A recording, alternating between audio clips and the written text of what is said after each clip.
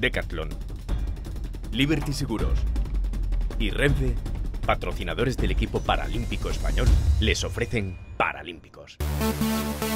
España reafirmó su antigua jerarquía en el fútbol para ciegos, logrando la medalla de plata en el Campeonato de Europa que se disputó en Berlín. Primero consiguió una clasificación cómoda en la fase de grupos con dos goleadas, 8-0 ante Georgia y 4-0 contra Bélgica, y dos empates en los encuentros más comprometidos, a 0 frente a Rusia y a 1 contra Turquía.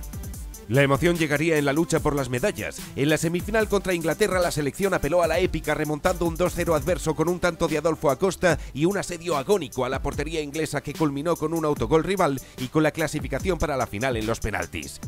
Y lo mismo, pero al revés, en la final contra Rusia. Primero marcó Adolfo Acosta, pero los rusos empataron poco antes del final. En la suerte suprema de los penaltis, cada equipo transformó dos y falló uno. Y en la muerte súbita, error de Iván López y gol de Tukanov. Título para Rusia, subcampeonato para España. Con todo, la Roja Paralímpica sigue liderando el palmarés europeo porque en 11 campeonatos disputados ha conquistado 10 medallas, 7 oros, 2 platas y un bronce. Decathlon, Liberty Seguros y Renfe, patrocinadores del equipo paralímpico español, les han ofrecido Paralímpicos.